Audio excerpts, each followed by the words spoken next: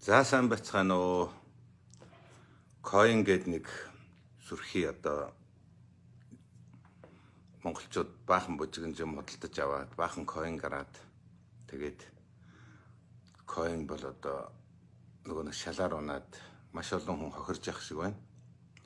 Тэгээд энэ талаар би маш сайн хэлсэн шүү. Coin гаргах гэдэг нэг хідэн шалдан банд нар дэлхийд гарна гэж хэлээл. Ер нь яг энэ заллин болж гэн шүү. Хийж байгаа үйлдэл бүх юм яг заллин лөөр шинжтэй болж гэн шүү гэж би хэлсэндээ над руу ч маш их дайрсан да. Ягаад тэгэхээр тэр э, залуучууд нөгөө Нью-Йоркт очсон Times Square гэдэг дээр очсон хэдэн төгрөг төлөөд юугаар реклам гаргадаг юм гаргаад тэрэн дээр нөгөө IHC coin гэдгийх нэг рекламыг тавина. Тэр яах вэ нэг 3 удаа тавихад нэг 1000 доллар, 2000 доллар хэд байдгийг тийм л байгаа үз. Тэгэл э, тэрийгэ 50 гутал одоо ингээд бид нар дэлхийд гарчлаа шүү. Нью-Йоркт ингээд манай coin гарчлаа гэл. Нью-Йоркийн худалдаад аваад байгаа юм шиг тийм яриад эхэлсэн. Би их гайхсан. Гүн ч одоо ингээд нэг газар дэлгэцэн дээр эдэн төгрөг төлж юм гаргачаал дэлхийд гарчдаг бол одоо бүхэл хүн дэлхийд бүхэл бараа бүтээгдэхүүн дэлхийд гарлаа шүү дээ. Тэгээ вэжитл э, бас нэг Deontay Wilder гэдэг нэг хар бокс ч юм байдیں۔ Тэр хар бокс ч энэ нэг гэрээ хийгээд бас нэг хэдэн төгрөг өгсөн юм шиг байгаа. Тэгээ нөгөөх нь одоо ингээд тэр койныг төлөөлнө гэж байгаа. Тэгэл одоо за ингээд Deontay Wilder гэдэг мундаг том бокс ч одоо манайхыг төлөөлчлээ гэдэг тэр нь хөөрхөө юу ч чаддгүй юм тийм шүү дээ. Тийм болохоор л манайхны үгэнд орс нэг хэдэн төгрөг авж байгаа штэ. Тэгэл одоо баг ингээ ахаад бид нар одоо дэлхийд ингээ гарахад улам ойрхон болчлоо гэл ингэнгүүтэл.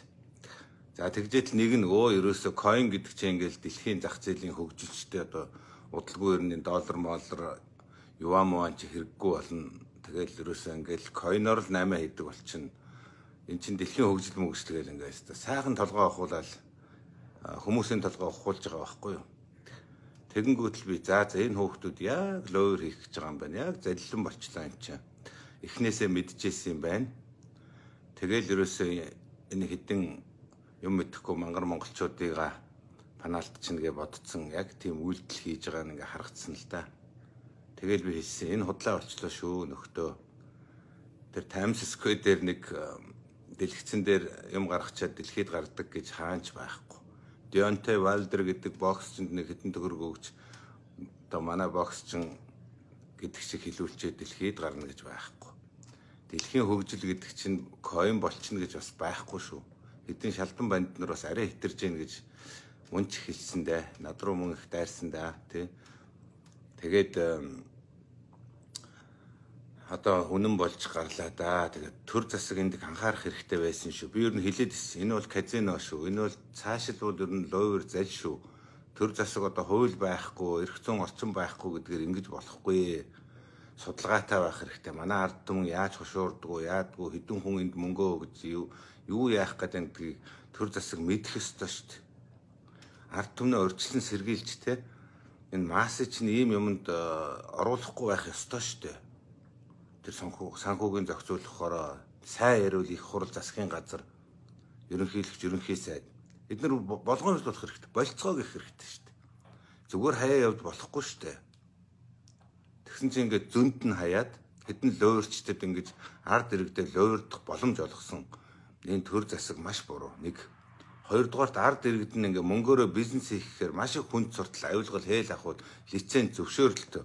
Нөгөө ард иргэд нэг 100020 10 сая 20 сая одоо төгрөгөө нэг юмд хийх хэрэгэлдүүлэх нэг кофе шоп ажилуулъя гэж юу ч олдохгүй.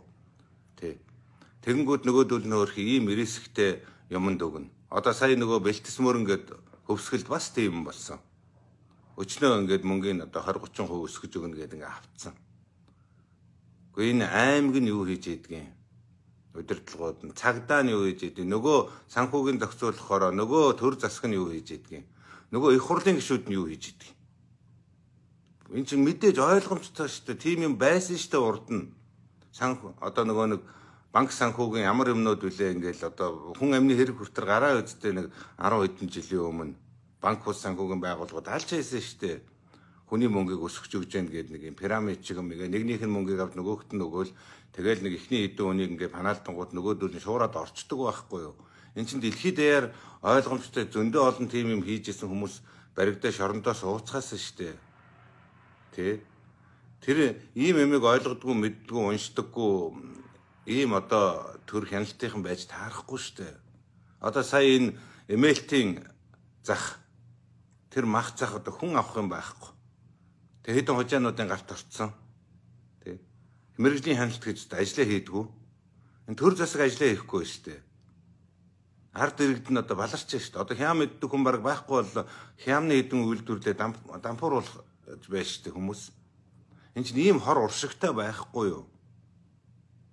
Тэгэхээр одоо энэ төр засгийн хяналт судалгаа тэг урьдчилан харж одоо эрүүл зөв ухаантайгаар асуудалд хандах ард иргэдийнхээ одоо эрүүл аюулгүй орчинд амьдрах хүнсний аюулгүй байдал. За тэгэл одоо энэ энэ coin moin гэдэг чинь энэ манай хүмүүсийн аюулгүй байдалтай холбоотой шүү дээ. Энэ бэлтгэс мөрөн энэ чинь иргэдийн эд хөрөнгөний аюулгүй байдал.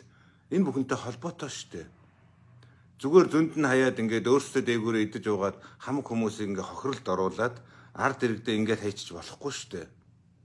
Наад мэдний эндээс хил хашгираад байгаа байхгүй юу? Болохгүй наадах чинь ингэж болохгүй наа чин лоо наа чин төр засаг нэг анхаарах хэвээр би хэлжсэн шүү дээ. Ирэх зүүн орчин байхгүй, хууль байхгүй гэдэл тэгэл тэр нэг юм хаяад л дураараа байцгаа гэдсэн. Өөртөө цаана байсан байгаа байх шүү айгу бол надад чинь. Тий. Одоо болохоор юу ч болоогүй юм шиг тий бид нар анхааруулсан гэж сууж байгаа байхгүй юу? Тэр ерөөсөө энэ Монголд болж байгаа бүх муу муухай юм, сайн сайхан юм аль алинтай энэ төр засаг энэ нам эрх барьж байгаа нам энэ хуулийн байгууллага бүх юмнууд холбоотой шүү. Тэд нар хариуцлага хүлээх ёстой шүү. Тэдний ажил үүрэг шүү. Тэдний энэ ард олны амьдралыг сайжруулах, нийгэм эдийн засгийг зөв зохицуулж менежмент хийх ийм үүрэгтэй хүмүүс шүү. Тэрийг энэ хүмүүс өрөөсөө хийхгүй байгаа нь олон юм дээр харагдаж байгаа шүү, тэ. За ингээд яг уу энэ удаа энүүгээрээ төгсгöö дөө. Шэр хийгээрэй найз нараа. Баярлалаа.